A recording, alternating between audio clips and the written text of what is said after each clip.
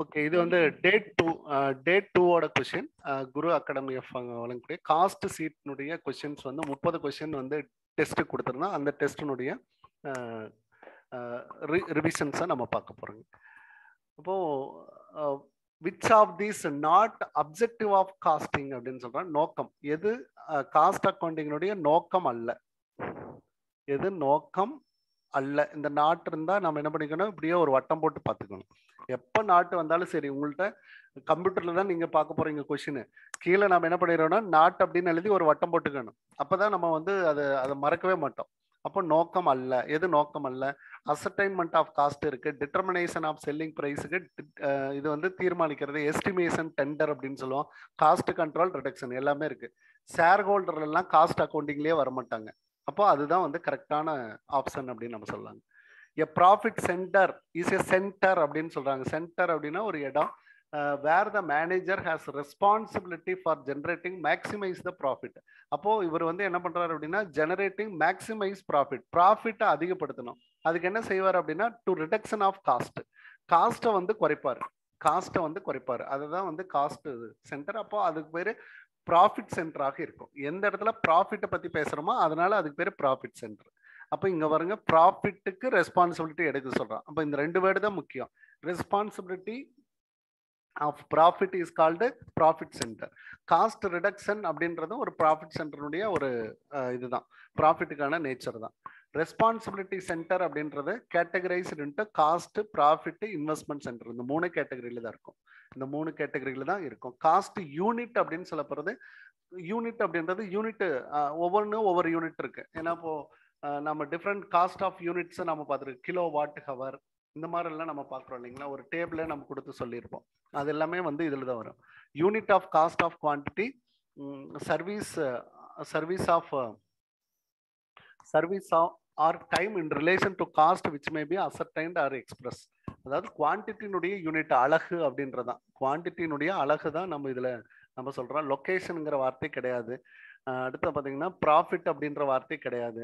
இந்த இடத்துல பார்த்தீங்கன்னா இது அழகு அப்படின்றதான் கரெக்ட் ஒரு அழகு அப்படின்னு நம்ம சொல்லுவோம். லொக்கேஷன் கிடையாது.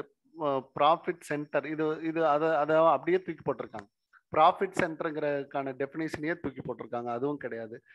Concentrate adequate return on investment இது இங்கே வரவே வராதுங்க. ஃபினான்சியல் அக்கௌண்டிங்கில் இருக்கக்கூடிய வேர்டு அது இங்கே கொண்டு வரவே கூடாது. அப்போ இந்த மூணுமே கிடையாது. Option A is correct fixed காஸ்ட்டுங்கிறது do not change do not change in total total வந்து சேஞ்சே ஆகாது.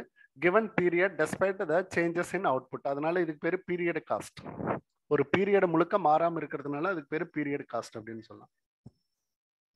Uncontrollable cost which are influenced by the action specified number of undertaking cannot பண்ண முடியாது. இதெல்லாம் ஒரு சில கொஷின் வந்து சிம்பிளாக தான் இருக்கும். அதெல்லாம் மீனிங்ஃபுல்லாக இருக்குது எலிமெண்ட் ஆஃப் காஸ்ட் அப்படின்றது மெட்டீரியல் லேபர் எக்ஸ்பென்சஸ் எதெல்லாம் டைரக்டில் இருக்கோ அதெல்லாம் எலிமெண்ட் அப்படின்னு சொல்லுவாங்க. Direct costing direct material direct labour direct expenses அப்படின்னு இருக்கும் இதெல்லாம் எலிமெண்ட் ஆஃப் காஸ்டிங் அப்படின்னு இருக்கும் கூறுகள் அப்படின்னு சொல்லி. எலிமெண்ட்னா என்னங்க? கூறுகள். அடக்க விலையில் இருக்கக்கூடிய கூறுகள் அப்படின்னா இந்த மூணு தான். Conversion cost include the converting of அப்படின்றதுக்கு ஒரு கிளாரிட்டி ஏற்கனவே கொடுத்துருக்கோம். ஒரு நம்ம ஸ்டூடெண்ட்டை கூட ஒரு நல்ல கிளாரிட்டி கொடுத்துருந்தாரு. இதில் என்ன அப்படின்னா எதுலேருந்து எது வரைக்கும் அப்படின்னா ரா மெட்டீரியல் இருந்து ஃபினிஷ்டு ப்ராடக்டை உருவாக்குற வரைக்கும் கன்வர்ஷன் காஸ்ட் அப்போ எந்த காஸ்ட்டை எடுத்துக்க கூடாது அப்படின்னா கன்வர்ஷன் காஸ்ட்ல பார்த்தீங்க அப்படின்னா மெட்டீரியல் மட்டும் எடுத்துக்க கூடாது. மெட்டீரியல் காஸ்ட்டை மட்டும் நம்ம என்ன பண்ணக்கூடாது அப்படின்னா எடுத்துக்க கூடாது. கன்வர்ஷன் காஸ்ட் அப்படின்றது நாட் இன்க்ளூடட் மெட்டீரியல் காஸ்ட் ஏன்னா மெட்டீரியல் அதுலயே வந்துருச்சு. கன்வர்சன் காஸ்ட்ல பாத்தீங்கன்னா ரா மெட்டீரியல் பினிஷ்டு ப்ராடக்டா மாறுது. அப்போ மெட்டீரியல் ஃப்ளோவில் போயிட்டு இருக்கு அதுக்கு இடையில வேற என்னென்ன காஸ்ட் எல்லாம் நம்ம இன்கர்ட் பண்றோமோ அதுதான் கன்வர்சன் காஸ்ட் அப்படின்னு அர்த்தம். மாற்றக்கூடிய செலவு அப்படின்னு அர்த்தம். மாற்றக்கூடிய செலவு. அப்போ ரா மெட்டீரியல் பினிஷ்டு ப்ராடக்டா மாற்றக்கூடிய செலவுனா லேபர் அதர் எக்ஸ்பென்சஸ் எல்லாமே வரும். அதர் எக்ஸ்பென்சஸ் ஃபேக்ட்ரியில் நடக்கக்கூடிய ஆல் எக்ஸ்பென்சஸ் எல்லாமே வர்றது எல்லாமே பார்த்தீங்கன்னா வரும். எக்ஸப்ட் மெட்டீரியல் ஏன்னா மெட்டீரியல் இங்கேயே இருக்கு. ரா மெட்டீரியலும் மெட்டீரியல் தான். இந்த மெட்டீரியல் தான் ஃபினிஷ்டு ப்ராடக்டாக மாற போகிறது அப்படின்றப்ப except material all other material cost is called included or sum is called as a conversion cost அப்படின்னு நம்ம சொல்லலாம். இது நல்ல கொஸ்டின் அதை நல்லா பார்த்து வச்சுக்கோங்க அங்கே ஏற்கனவே ஒரு கொஸ்டின் அந்த மாதிரி கேட்டிருக்காங்க டிஆர்பியில் அதனால அதில் வேறு வடிவமாக இருக்கட்டும் அப்படின்றதுக்காக இந்த இடத்துல இதை ரைஸ் பண்ணியிருந்தேன். சங் காஸ்ட் அப்படின்னு சொல்லப்படுறது இதெல்லாம் பார்த்துதையும் சொல்லிடலாங்க. Sunk not relevant for decision making not relevant அதாவது முடிவெடுக்கிறதுக்கு தேவையில்லை. இதெல்லாம் தப்பே வரக்கூடாதுங்க. இதெல்லாம் மாற்றியே எழுதக்கூடாது. இதெல்லாம் நிறைய வாட்டி கொஸ்டின்லேயே கேட்டுட்டாங்க நமக்கு. சங் காஸ்ட் அப்படின்னா not relevant for decision making முடிவெடுக்க தேவையில்லாத காஸ்ட் அப்படின்னு அர்த்தம். முடிவு எடுக்க தேவையில்லாத காஸ்ட் தேவையில்லாதது.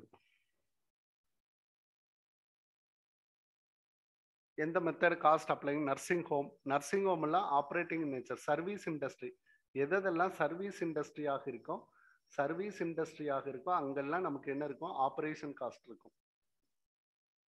ஆப்ரேஷன் காஸ்ட்ங்கிறது இருக்கும். Described cost unit of bicycle பைசைக்கிள்ங்கிறது இதுதான் யூனிட் இதுக்கு முன்னாடி ஒரு கொஸ்டின் கூட வந்திருந்தது. அப்போ பெர் பைசைக்கிள் அப்படின்றத யூனிட் ஒரு பைசைக்கிளுக்கு எவ்வளவு அப்படின்றது? பிரைம் காஸ்ட்டை கேட்டிருக்காங்க. கண்டிப்பாக எல்லாருமே கரெக்டாக கண்டுபிடிச்சிருப்பீங்கன்னு நினைக்கிறேன். இது டைரக்ட் மெட்டீரியல் பர்ச்சேஸ்டு அடுத்து பார்த்தீங்கன்னா கன்சியூம்டு அப்படின்ற ஒரு வார்த்தை கொடுத்துருப்பாங்க. அடுத்து direct material sixty thousand direct sorry labour sixty thousand அடுத்ததான் பார்த்தீங்கன்னா இது வந்து டுவெண்ட்டி தௌசண்ட் இது மேனுஃபேக்சரிங் ஓவர் ஹெட்ஸ் அப்படின்னு நம்ம சொல்லிட்டு இதுக்கு இதுக்கு அடுத்தது தான் பிரைம் காஸ்ட்டுக்கு அடுத்து தான் ஒர்க்ஸ் காஸ்ட்டை கண்டுபிடிக்கிறப்ப தான் மேனுஃபேக்சரிங் ஓவர் ஹெட்டை நம்ம இன்க்ளூட் பண்ணணும். அப்போ இதில் வந்து நம்ம பிரைம் காஸ்ட்டை மட்டும் கண்டுபிடிக்கிறப்போ இதில் என்ன வேர்டு பர்ச்சேஸ்டு வரணுமா கன்சியூம்டு வரணுமா அப்படின்னா நம்ம கன்சியூம்டு தான் எடுத்துக்கணும். மெட்டீரியலில் மட்டும் நம்ம என்ன பண்ணுவோம் அப்படின்னா கன்சியூம்டு தான் எடுத்துக்கணும். அது வந்து வரக்கூடாது. அப்போ கன்சியூம்டு அப்படின்றதுக்கு என்ன எப்படி நம்ம சொல்றோம் அப்படின்னு பார்த்தீங்கன்னா ஓப்பனிங் ரா மெட்டீரியல் அடுத்ததான் ப்ளஸ் பர்ச்சேஸு ரா மெட்டீரியலை கூட்டி அடுத்தது க்ளோசிங் ரா மெட்டீரியலை நம்ம என்ன பண்ணுவோம் அப்படின்னா கழிச்சிருவோம். இதுதான் கன்சியூம்டு அப்படின்னு அர்த்தம். எவ்வளவு நுகர்ந்திருக்கோம் எவ்வளவு எடுத்திருக்கோம் எவ்வளவு பயன்படுத்தி இருக்கோம் அப்படின்றது தான் இது ரொம்ப முக்கியமான வார்த்தை. அப்போ பர்ச்சேஸ்டுன்னு கொடுத்து நம்மளை ஏமாத்துவாங்க. அப்போ நம்ம என்ன பண்ணக்கூடாது? அதை எடுத்துக்கூடாது. பர்ச்சேஸ்டுங்கிறது இந்த இடத்துல வரும். அப்போ ஓப்பனிங் கொடுத்துருந்தா ஓப்பனிங் பிளஸ் பர்ச்சேஸ் தான் நமக்கு மைனஸ் க்ளோசிங் தான் நமக்கு கன்சியூம்டு அப்போ அந்த கன்சியூம்டு தான் நம்ம எடுத்துக்கணும். அப்போ இந்த இடத்துல பார்த்தீங்கன்னா அறுபது இது ஒரு இது ஒரு இருபது சாரி தொண்ணூறு பிளஸ் அறுபது ஒன்று ஐம்பது இதில் பார்த்தீங்க அப்படின்னா ஒன்று எழுபது. ஒன்று எழுபதுங்க.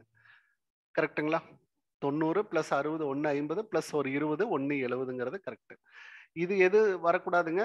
ஒர்க்ஸ் காஸ்ட்னு கேட்டிருந்தா நீங்கள் என்ன பண்ணலாம்? இது கூட ஒரு முப்பதை சேர்த்தணும். ஒர்க்ஸ் காஸ்ட்னு சேர்ந்தா இது கூட ஒரு முப்பது சேர்த்துனீங்கன்னா உங்களுக்கு முப்பதும் சேர்ந்து அது என்னாகும்? ரெண்டு லட்சமாக மாறும். இது ஒர்க்ஸ் காஸ்ட் இந்த ஆன்சர் வந்து நமக்கு ஒர்க்ஸ் காஸ்டாக இருக்கும். அடுத்தது total cost of product is ten thousand profit twenty five percent on selling price இந்த பாருங்க இந்த மாதிரி ஏதாவது சம் கேட்டிருந்தாங்கன்னா ஆன் செல்லிங் ப்ரைஸ் அப்படின்னா எது இந்த பர்சன்டேஜுக்கு அடுத்தது இருக்கோ அதை வந்து நம்ம என்னன்னு வச்சுக்கணும் ஹண்ட்ரட் அப்படின்னு வச்சுக்கணும் எதுக்கு ஒருவேளை காஸ்ட் கொடுத்திருந்தாலும் காஸ்ட்டை ஹண்ட்ரட்னு வச்சுக்கோங்க அவ்வளோதான் இது மாதிரி மேனேஜ்மெண்ட் அக்கௌண்டிங்லேயே நம்ம சம் போட்டிருக்கோம். அப்போ காஸ்ட்டு ப்ளஸ் ப்ராஃபிட்டு இந்த ரெண்டையும் ஆட் பண்ணோம் அப்படின்னா நமக்கு என்ன கிடைக்கும் அப்படின்னா செல்லிங் ப்ரைஸ் செல்லிங் ப்ரைஸ் அல்லது சேல்ஸ் இந்த மாதிரி நம்ம சொல்லுவோம். இப்போ பாருங்க எதை கொடுத்துருக்கானோ அதை நான் என்ன பண்ண சொல்லியிருக்கேன் அப்படின்னா ஹண்ட்ரட் அப்படின்னு வச்சுக்கோ அப்படின்னு சொல்லியிருக்கேன். அப்போ செல்லிங் ப்ரைஸை நீங்க ஹண்ட்ரட் அப்படின்னு வச்சுக்கோங்க. இப்போ ப்ராஃபிட் எவ்வளவு அப்படின்னு பாருங்க இருபத்தி அஞ்சு பர்சன்ட் அப்போ காஸ்ட் எவ்வளவாக இருக்கும் அப்படின்னா மிச்சம். அப்போ எழுபத்தஞ்சு இருபத்தஞ்சு கூட்டுனா நமக்கு நூறு. அடுத்ததுல இது எது இருக்கு அப்படின்னு பாருங்க இதுல காஸ்ட் மட்டும் பத்தாயிரம் ரூபாய் இருக்கு. புரியுதுங்களா? பா காஸ்ட் மட்டும் பத்தாயிரம் ரூபாய் அப்படின்றது இருக்கு. நமக்கு என்ன கேட்டிருக்காங்க? நமக்கு என்ன total cost of product profit is twenty five percent on selling price அப்போ இது இதுல வந்து நமக்கு என்ன கேட்டிருக்காங்க? த ப்ராஃபிட் ஈஸ் அப்படின்றத நம்மளுடைய கேள்வி. ப்ராஃபிட் எவ்வளவு அப்படின்றத நம்மளுடைய கேள்வி. அப்போ இதை தான் நமக்கு கண்டுபிடிக்க சொல்றாங்க. நல்லா புரியுதுன்னு பாருங்க. இதை தான் நமக்கு கண்டுபிடிக்க சொல்றாங்க. அப்போ நீங்க என்ன பண்ணணும்? எந்த வேல்யூ இருக்குதோ அதை வந்து நம்ம என்ன பண்றோம் அப்படின்னா டிவைட் பண்ணிக்கிறோம். அதாவது பத்தாயிரம் ரூபாய் நமக்கு இருக்கு. பத்தாயிரம் ரூபாங்கிறது எழுபத்தி அஞ்சு சதவீதத்துக்கு அப்படின்னா இருபத்தஞ்சு சதவீதத்துக்கு எவ்வளவு? இருபத்தஞ்சு சதவீதம் தான் ப்ராஃபிட் ப்ராஃபிட்டுக்கு எவ்வளவு அப்படின்னு சொல்லி கண்டுபிடிச்சிங்கன்னா சரியா போச்சுங்க. இப்போ பத்தாயிரங்கிறது எழுபத்தஞ்சு சதவீதத்துக்கு. அப்படின்னா இருபத்தஞ்சு சதவீதத்துக்கு எவ்வளோன்னு கண்டுபிடிச்சிங்கன்னா உங்களுக்கு ஆன்சர் வந்துடும் அப்போ இதுக்கு இதுக்கு நம்ம அடிக்கிறப்ப நமக்கு எவ்வளோ வருங்க? இது ஒன்று இது மூணு அப்படின்ட்டு வரும். அப்போ தேர்ட்டி த்ரீ தௌசண்ட் அப்படின்றது நமக்கு கிடைக்கும். இப்போ இன்கேஸ் நமக்கு செல்லிங் ப்ரைஸ் கேட்டிருந்தா நீங்கள் எப்படி இந்த இடத்துல கண்டுபிடிக்கணும் அப்படின்ட்டா? டென் தௌசண்ட் அப்படின்றது. எது கொடுத்துருந்தாங்க? டென் தௌசண்ட் கொடுத்துருந்தாங்க. செவன்ட்டி ஃபைவ் பர்சன்ட் காஸ்ட்டுக்கு அப்படின்னா ஹண்ட்ரடுக்கு எவ்வளோன்னு கண்டுபிடிச்சிங்கன்னா உங்களுக்கு ஆன்சர் கிடைச்சிடும் ஹண்ட்ரடுக்கு எவ்வளவு அப்படின்னு கிடைச்சிங்கன்னா கிடைச்சிரும். அப்போ உங்களுக்கு எவ்வளோ கிடைக்கும்? மூவாயிரத்தி முந்நூற்றி முப்பத்தி மூணு. இல்லைங்களா? மூவாயிரத்தி முந்நூற்றி முப்பத்தி மூணு அப்போ வந்து உங்களுக்கு ஆன்சர் பதிமூணாயிரத்தி முந்நூற்றி முப்பத்தி மூணுங்கிறது ஆன்சர் கிடைச்சிருக்கும். எதுங்க? செல்லிங் ப்ரைஸ் ஆக்குறதுனா அதை நீங்க பார்த்துக்கோங்க. நீங்க இந்த மாதிரி சம் வந்தா எது கொடுத்துருக்காங்களோ அதையும் நீங்க என்ன பண்ணிடுங்க அப்படின்ட்டா ஆஹ் இதா வச்சுக்கோங்க. இன்கேஸ் இப்போ இதே ஆன் காஸ்ட் பிரைஸ் வந்தாங்க சார் ஆன் காஸ்ட் அது அப்படியே பாருங்க. காஸ்ட் அப்படின்னு கேட்டிருந்தா என்ன பண்றது? அதையும் சொல்லிடுறேன். ஒரு கலர் மாத்திக்கிறேன் ஜஸ்ட்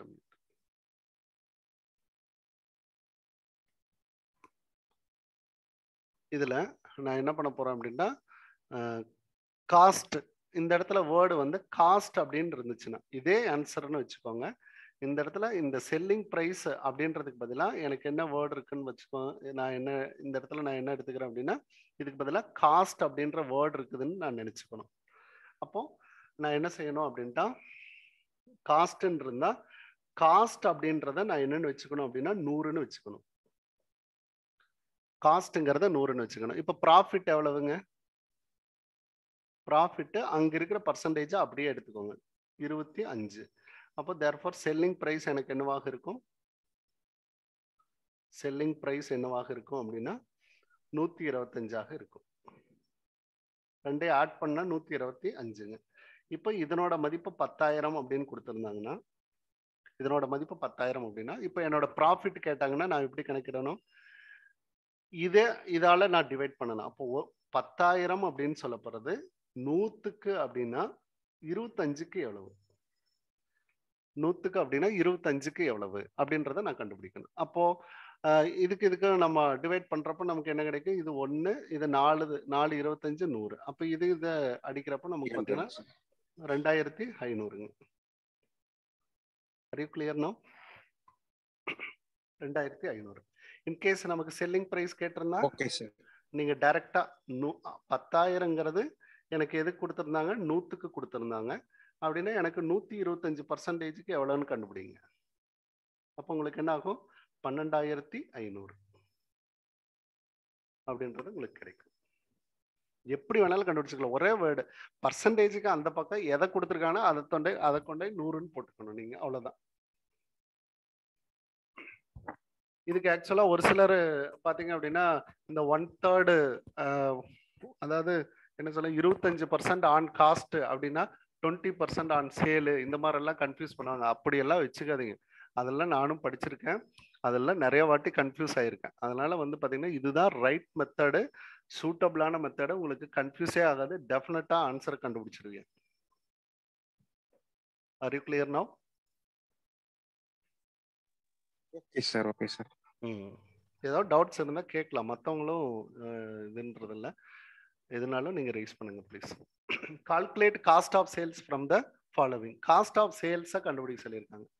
காஸ்ட் ஆஃப் சேல்ஸ் அப்போ அதுக்கப்புறம் உங்களுக்கு என்ன இருக்கும் அப்படின்ட்டா காஸ்ட்டுங்கிறது தான் காஸ்ட் ஆஃப் சேல்ஸ் அதுக்கப்புறம் ப்ராஃபிட் ஆட் பண்ணீங்கன்னா செல்லிங் ப்ரைஸ் அவ்வளோதான் அப்போ எல்லா காஸ்ட்டையும் நீங்கள் ஆட் பண்ணணும் அப்படின்னு அர்த்தம். எல்லா காஸ்ட்டையும் ஆட் பண்ணணும். இதில் நெட் ஒர்க் காஸ்ட் அப்படின்றத கொடுத்துட்டாங்க. இது கூட இந்த காஸ்ட்டையும் நம்ம ஆஃபீஸ் அட் அட்மினிஸ்ட்ரேஷனே கூட்டணும். இந்த ரெண்டு வரப்ப நம்ம என்ன பண்ணணும்? அட்ஜஸ்ட் பண்ணணும். நல்லா புரியுதான்னு பாருங்க. இந்த ரெண்டு வரப்ப நம்ம என்ன பண்ணணும்? அட்ஜஸ்ட் பண்ணணும். அட்ஜஸ்ட்மெண்ட் அப்படின்னா இது கூட நம்ம சேர்க்கணும். அப்போ இதுல ஓப்பனிங்கை கூட்டி நம்ம என்ன பண்ணுவோம்? க்ளோசிங்கை கழிச்சிருவோம். அப்போ பத்தாயிரத்தை கூட்டி நம்ம என்ன செய்வோம் அப்படின்ட்டா? இருபதாயிரத்தை கழிச்சிருவோம். அப்போ நெட் ரிசல்ட் நமக்கு என்ன கிடைக்குங்க? இதுல ஒரு பத்தாயிரம் நமக்கு கிடைக்கும். மைனஸ் பத்தாயிரம். இதுல என்ன கிடைக்கும் அப்படின்னா? மைனஸ் பத்தாயிரம். க்ளோசிங் ஸ்டாக் ஆஃப் ஃபினிஷ்டு கூட்ஸுங்கிறது நமக்கு முப்பதாயிரம். There is no opening stock அப்படின்னு சொல்லிட்டாங்க. இங்கே வந்து ஓப்பனிங் ஸ்டாக்கு கிடையாது. அப்போது இது வந்து ஓப்பனிங் ஸ்டாக்னா ப்ளஸ்ஸுங்கிறது எதுவும் கிடையாது. ஆனால் எது மட்டும் இருக்கு எனக்கு? மைனஸ் மட்டும் இருக்குது அப்போ இந்த ரெண்டையும் நான் அட்ஜஸ்ட் பண்ணேன் அப்படின்னா இதை கூட்டி இதை லெஸ் பண்ணுறேன் அப்படின்னா ஜீரோ மைனஸ் தேர்ட்டி தௌசண்ட் அப்படின்றது எனக்கு கிடைக்கும்.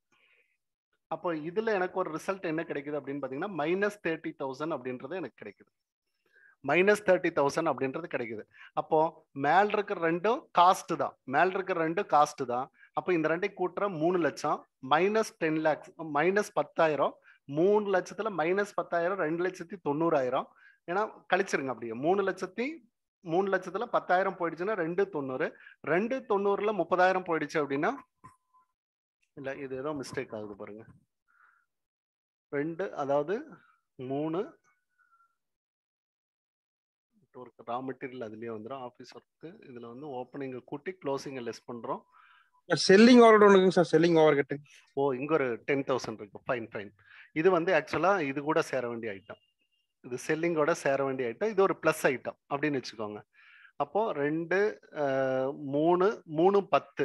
மூணு பத்துல இருந்து நம்ம என்ன பண்ணணும் அப்படின்னா ஒரு நாற்பதாயிரத்தை கழிக்கணும். அப்படித்தானுங்க. மூணு லட்சத்தி பத்தாயிரத்துல இருந்து நாற்பதாயிரத்தை நம்ம லெஸ் பண்ணணும். அப்பயுமே பாத்தீங்கன்னா நமக்கு எவ்வளவு வருதுங்க? ரெண்டு லட்சத்தி எழுபதாயிரம் தான் வருது இல்லைங்க?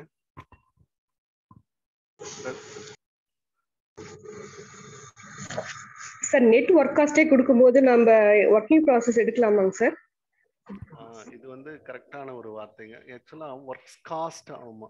இது ஃபைன் ஃபைன் சூப்பரான கொஸ்டின் நாம தான் மிஸ்டேக் பண்ணியிருக்கோம் பாருங்க இந்த இடத்துல.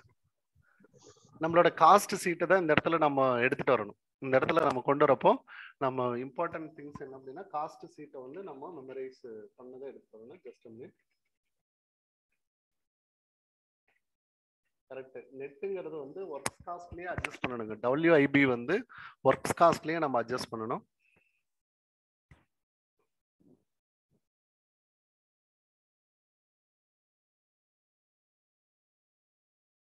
இப்போ இந்த சிம்பிள் காஸ்ட் சீட் ஃபார்மேட்ல டைரக்ட் மெட்டீரியல் லேபர் அதுக்கடுத்து பார்த்தீங்கன்னா எக்ஸ்பென்சஸ் ஆட் பண்ணது டைரக்ட் காஸ்ட்டுங்கிறது நமக்கு கிடைச்சிச்சு.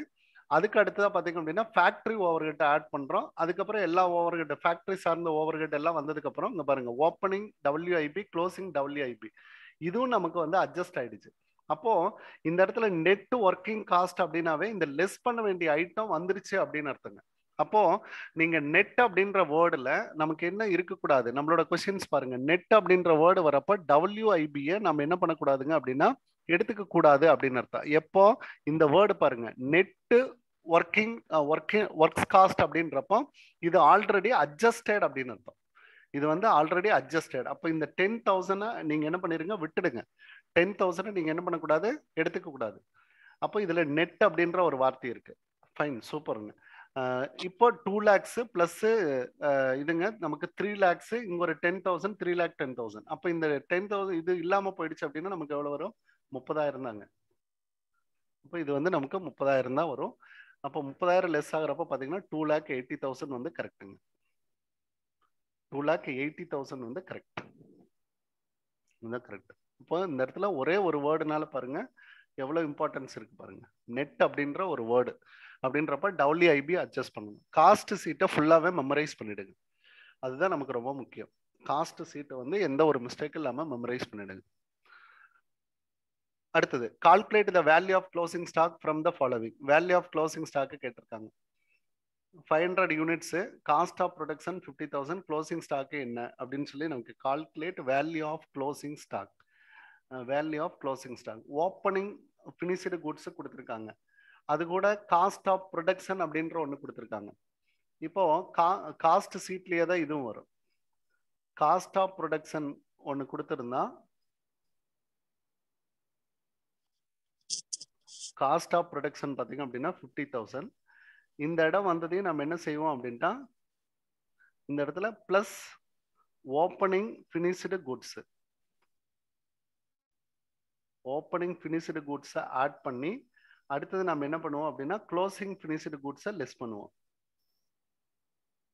க்ளோசிங் ஃபினிஷ்டு குட்ஸை நம்ம என்ன பண்ணுவோங்க? லெஸ் பண்ணுவோம். இதுதான் காஸ்ட் சீட்டில் இருக்கக்கூடிய இடங்க. அப்போ இது வாருங்க இது வாருங்க அமௌண்ட்டில் கொடுத்துருக்காங்க. இது வந்து நமக்கு எவ்வளோ கொடுத்துருக்காங்க? அமௌண்ட்டில் கொடுத்துருக்காங்க. இப்போ ஓப்பனிங் ஸ்டாக் மட்டும் நீங்கள் என்ன பண்ணிடுங்க? கூட்டிடுங்க.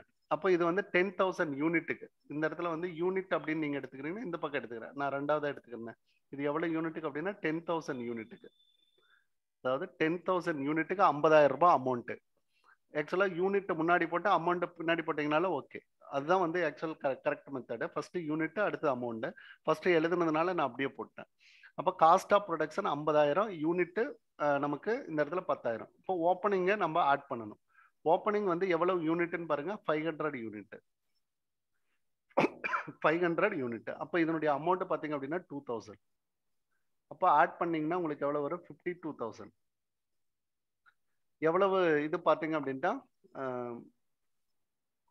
இதனுடைய வேல்யூ பார்த்தீங்க அப்படின்னா இதை ஆட் பண்ணணும் இல்லைங்க. பத்தாயிரத்தி ஐநூறு யூனிட்டுக்கு பத்தாயிரத்தி ஐநூறு யூனிட் க்ளோசிங் ஸ்டாக் அப்படின்னு சொல்கிறத எவ்வளோன்னு சொல்கிறாங்க அப்படின்னு பார்த்தீங்கன்னா க்ளோசிங் ஸ்டாக் அப்படின்றத இங்கே தௌசண்ட் யூனிட்ஸ் அப்படின்னு சொல்லிட்டான்.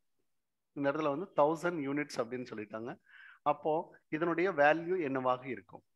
இதனுடைய வேல்யூ என்னவாக இருக்கும்? இதுதான் நமக்கு கேட்ட கொஸ்டின் அப்போ நீங்கள் என்ன பண்ணுங்க? இது பாருங்க அந்த இதுக்கு முன்னாடி ஒரு கொஸ்டின் போட்டேன் இல்லைங்களா? அதாவது காஸ்ட் கொடுத்துருந்தா ப்ராஃபிட்டை கண்டுபிடிச்சோம். அதே நேச்சர் தாங்க இது. இந்த ரெண்டு வேல்யூ இருந்தால் இந்த வேல்யூவை நம்ம கண்டுபிடிச்சிடலாம். அப்போ இதுக்கு டிவிஷன் மெத்தடு தான்.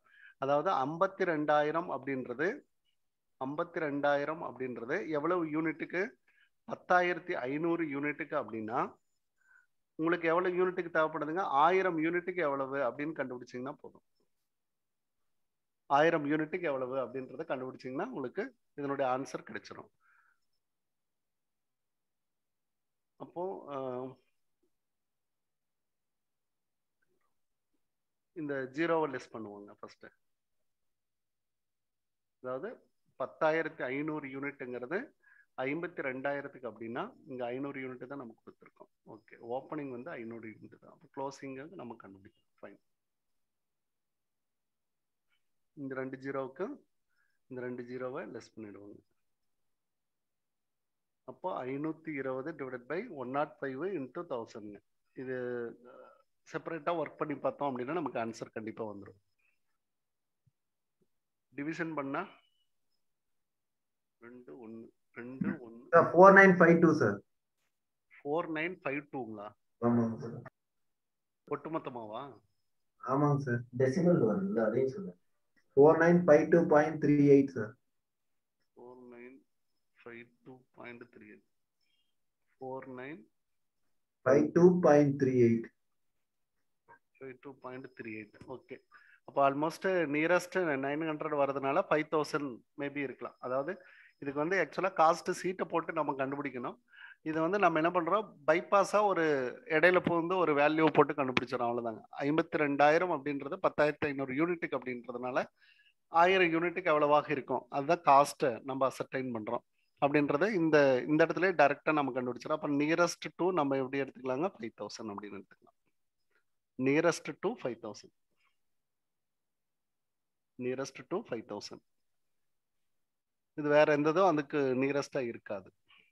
ப்ராசஸ் காஸ்டிங் ஷூட்டிங் ஃபார் இது வந்து ப்ரீவியஸ் டிஆர்பியில் கேட்ட கொஸ்டின் தான். Oil refinery hospital service nature operating operating cost transport இது பார்த்தீங்க அப்படின்னா சர்வீஸ் இண்டஸ்ட்ரி தான். இதுவும் ஆப்ரேட்டிங் காஸ்ட்டு தான். Operation cost brick laying industry இது வந்து பேட்ச் காஸ்ட்டுன்னு நினைக்கிறேன். தௌசண்ட் அப்படின்னு வரும். சார் இது ப்ராசஸ்லயே வருது சார். அதான் கன்ஃபியூஷன் ஆகுது சார்.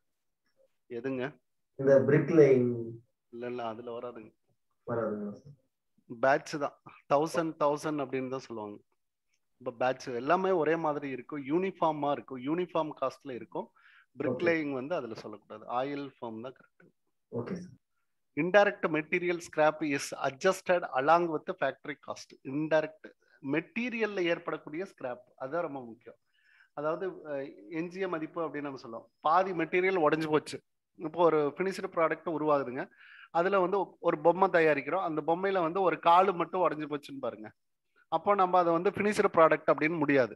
அப்போ நம்ம என்ன பண்ணுறோம் அப்படின்னா அதையே அந்த வேல்யூ மட்டும் ஒரு பாதி விலைக்கு வித்துடலாம். அல்லது ஏதாவது ஒரு குறைவான விலைக்கு வித்துடலாம். அதனால வந்து இதை வந்து எங்க அட்ஜஸ்ட் பண்ணணும் அப்படின்னு பாத்தீங்கன்னா ஃபேக்டரி காஸ்ட்ல தான் நீங்க அட்ஜஸ்ட் பண்ணணும். மெட்டீரியல் எல்லாமே ஃபேக்டரி காஸ்ட்ல தான் இருக்கும். மெட்டீரியல் அதுவும் இன்டைரக்ட் இந்த வேர்டு வந்து ரொம்ப முக்கியம். டைரக்ட் மெட்டீரியல் இருந்தா கூட பரவாயில்லைங்க. இது வந்து இன்டைரக்ட் மெட்டீரியல் அப்படின்னு சொல்லிட்டான்.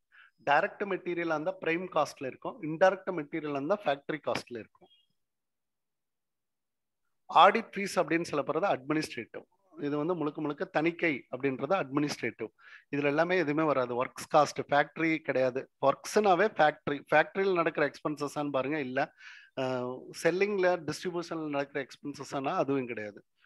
Toy manufacturing industry batch costing இது எல்லாமே பார்த்தீங்கன்னா ஒரு பாக்ஸில் எத்தனை பொம்மைகள் இருக்குது அப்படின்னு சொல்லி தான் சொல்லுவாங்க. அந்த பாக்ஸில் எவ்வளோ பொம்மைகள் இருக்குது அப்படின்ற எடுத்துக்கிறது தான் அது குறிக்கும் யூனிட் காஸ்டிங் பார்த்தீங்க அப்படின்னா சுகர் இண்டஸ்ட்ரி பெர் டன் டன்னில் தான் குறிப்பிடுவாங்க. லிட்டர் அப்படின்னு சொல்ல மாட்டாங்க ஏக்கர் மீட்டர் இதெல்லாம் ரியல் எஸ்டேட்டு மீட்டருங்கிறது துணியில் தான் மீட்டர்னு சொல்லுவோம். லிட்டருங்கிறது ஆயில் மாதிரி இருக்கிறது தான் லிட்டர் அப்படின்னு சொல்லுவோம்.